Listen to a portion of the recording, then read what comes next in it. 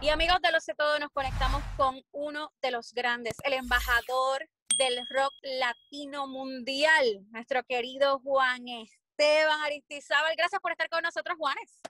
Hola querida, ¿cómo estás? Encantado de saludarte para ti y para toda la audiencia. Qué bueno tenerte. Eh, para nosotros es un placer en Lo Sé Todo poder conectar contigo y más con este disco que yo creo que estábamos esperando, no tan solo los fanáticos, sino el pentagrama musical con origen. Cuéntame, siento que esto es como un playlist de tu vida, de tu infancia, que vamos a conocer más a Juan Esteban. Literal, sí, pues lo describís perfectamente. De hecho, cuando estaba planeando hacer el álbum, pues eso fue lo que hice, un playlist de todas las canciones o la mayoría de estas canciones que me influenciaron desde que estaba muy pequeño, las primeras memorias que yo tengo de mi familia en la casa, también pasando por la adolescencia, por la parte más, digamos, de la universidad, antes de, que comenzara mi carrera como solista. Y obviamente, pues canciones de, desde Carlos Gardel, años 40, hasta Fito Páez o Juan Luis Guerra, año 92 en fin, una, cantidad de canciones que marcaron mucho, digamos, eh, mi vida y razón por la cual, digamos, decidí algún día dedicarme a la música, canciones que me influenciaron demasiado y que me cambiaron para siempre. Este disco, acá en Puerto Rico utilizamos la palabra curada. Es como un curete que uno se da cuando uno hace algo que uno quiere, que uno lo quiere hacer mucho. Y lo tenías pensado hace mucho tiempo, pero justamente la pandemia tuvo un impacto muy grande y tú decidiste aguantarlo porque todo cambió. Cambió la manera de verlo, la manera de escribir y la manera en la que veías el mundo. Definitivamente, sí, yo creo que fue muy curioso. Nosotros terminamos de grabar este álbum casi que justo antes de que estallara la, la pandemia, en marzo. Y finalmente hicimos la otra parte, digamos, el documental, que de hecho está dirigido por Cacho López, que es un boricua que amo, que quiero, que respeto. Eh, lo hicimos en, en, diciembre.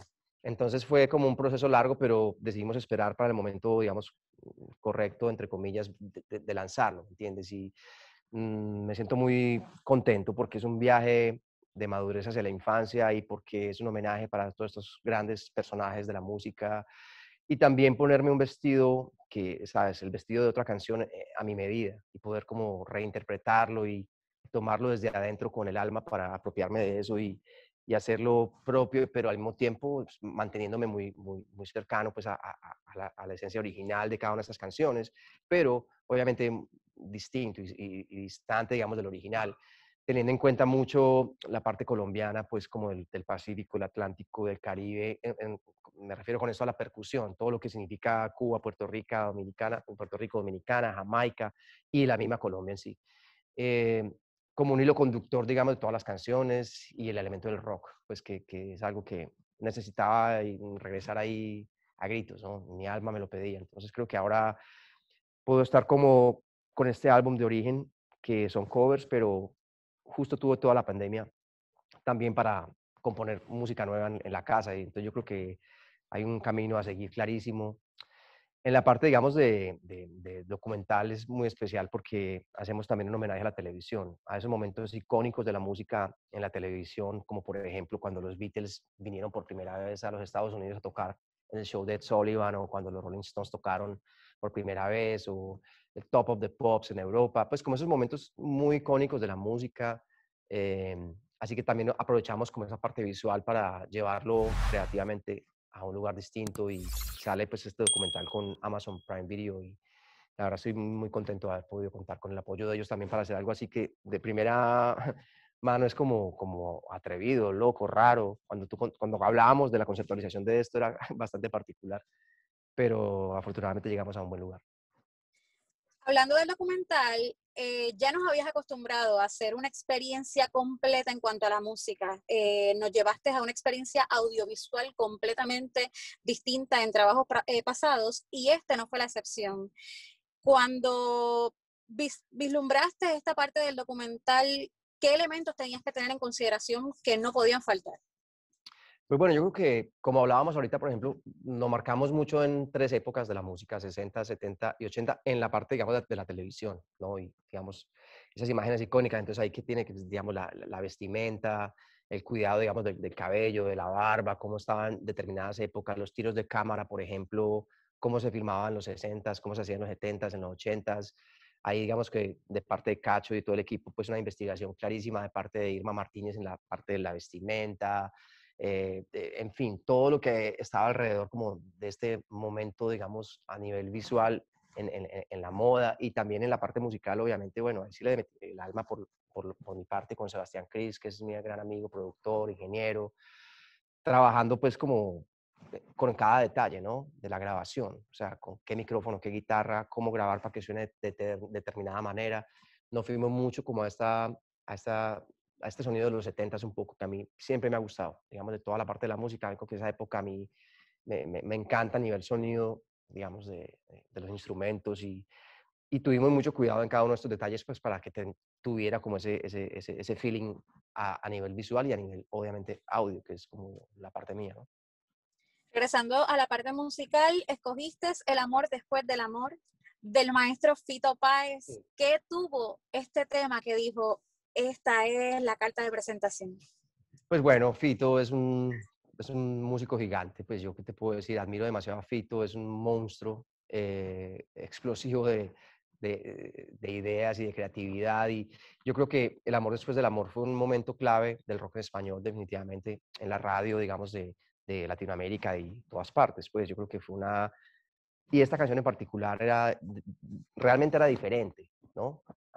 A, todo lo que había en ese momento y cómo sonaba, por lo menos lo que yo sentí en mi, en mi, ciudad, en Medellín, donde yo vivía, lo que pasaba con esta canción y con Fito, eh, con Soda Stereo, con, con, Charlie, o sea, todos estos personajes que vinieron de Argentina a cambiar el, el, mundo del rock en español definitivamente.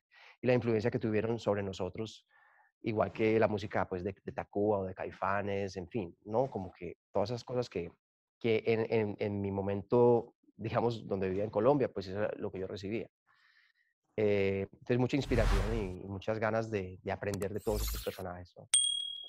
Juanes, estaba leyendo los comentarios de los fans y de varios cibernautas a través de, de las redes que estaban hablando del proyecto y estaban agradecidos porque habías regresado a una etapa más pura, más dejando esta quizás eh, lo urbano, las fusiones, que, que, no están mal, que a todos nos gusta, pero hay un público que extrañaba esa esencia. Sientes que te estás complaciendo tú, que de una le estás complaciendo al público, que era momento de, de como digo yo, mirar hacia adentro. Sí, definitivamente, definitivamente. Yo creo que, como te decía ahorita, como que a gritos mi alma pedía también volver ahí. Yo no me arrepiento para nada, digamos, de, de haber hecho lo que en el pasado pude hacer y haber experimentado trabajando con, con otros eh, productores, eh, digamos, del mundo urbano. A mí me encanta esa música, realmente me encanta. O sea, yo no puedo decir que no me gusta porque sí me gusta. Pero sentía que en la esencia propia eh, tenía que volver a lo que yo soy realmente. Y este álbum definitivamente me sirvió mucho para para ese ejercicio, pues para, entender realmente que eso es lo que de ahí yo vengo, es lo que yo soy y ese es el camino a seguir. Entonces, además fue muy eh, una casualidad buena, no digámoslo así, que, que, terminé de grabar este álbum de origen y que tuve como, he tenido un año prácticamente un poquito más de estar en la casa, literalmente componiendo canciones para mi nuevo álbum, pero después de haber grabado este, entonces como que tengo una base clarísima de para dónde voy con mi sonido y, y a mí también, sí, me, me hacía mucha falta eso, ¿no? Yo creo que ha sido una experiencia muy chévere eh, los discos pasados y los disfruté demasiado. Pero en este momento siento que mi camino es ese, donde no hay, digamos, para nada una ecuación, digamos, de, no sé, de tener views o likes o, o, más fama o yo no sé. Para mí es algo más artístico 100% y que voy a estar tocando para la gente que me quiere escuchar.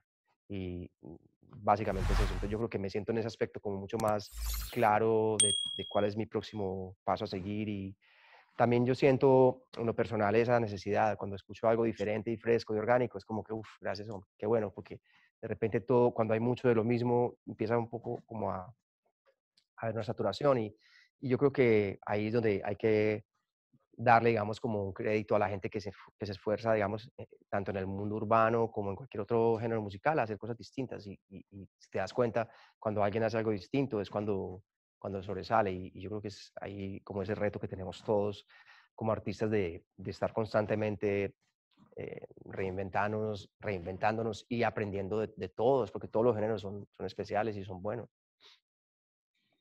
Juanes, acá en Puerto Rico, sabes que somos, te consideramos un hijo adoptivo. Nosotros te hemos cogido y te hemos acogido en nuestra tierra y tanto a ti como a tu música. Y yo sé que Puerto Rico es una plaza muy importante para ti. Ahora mismo, acá, acá en la isla, estamos atravesando un momento muy duro donde los feminicidios han tomado una relevancia eh, brutal y esto pues no, nos ha atañado y se han unido muchas figuras para hablar y para apoyar y para condenar lo que ha sido este, esta práctica. ¿Qué tienes que decir al respecto? Pues bueno, imagínate, yo lo que estoy viviendo en este momento, o lo que está viviendo mi país, pues en este momento en Colombia, es realmente muy duro también. Yo creo que ninguno se puede escapar de, de una realidad, de un mundo convulsionado, con muchísima injusticia social, con mucha desigualdad, con muchos problemas que tenemos que de verdad que resolver como humanidad ya, porque al, ritmo que hemos venido y como creo que es, estábamos equivocados. Pues, yo creo que todo lo que obviamente que pasa en Puerto Rico y lo que pasa en mi país, indiscutiblemente es, es, son, eh, es, es, muy complicado. Y más en este caso de, de, de, la violencia a la mujer, que para mí es algo como sagrado. Es que estamos aquí gran parte porque la mujer está ahí, porque nuestras madres nos tienen y, nos tienen por nueve meses en la, en la barriga y nos cuidan. Y, en fin, hay algo tan sagrado en la, que es la vida misma. Y yo creo que tenemos que ver la manera de cambiar esto y que no sea desde la violencia y que no sea apoyando gobernantes o apoyando la gente que legisla, que no escucha al pueblo y que está totalmente desconectada. Creo que hay que tener mucho cuidado en eso. Y ahí es donde realmente la juventud tiene que volverse más cuidadosa y, estudiar y leerse bien antes de votar los programas y por, qué vamos a votar y por qué. Y, de verdad poder cambiar desde, la, desde las leyes muchas cosas que están mal en la sociedad. Pero creo que de alguna manera también todos hemos sido culpables de todo esto que ha pasado y de esa misma manera todos tenemos que ver cómo solucionar todos estos problemas. Para terminar, un saludo para toda la gente de los set todo y de Puerto Rico que te está viendo a través de la cámara.